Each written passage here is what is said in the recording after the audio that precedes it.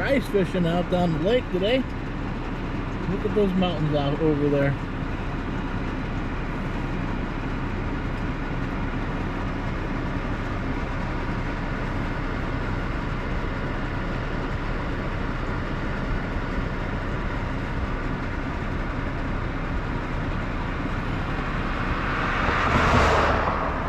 There goes Cal.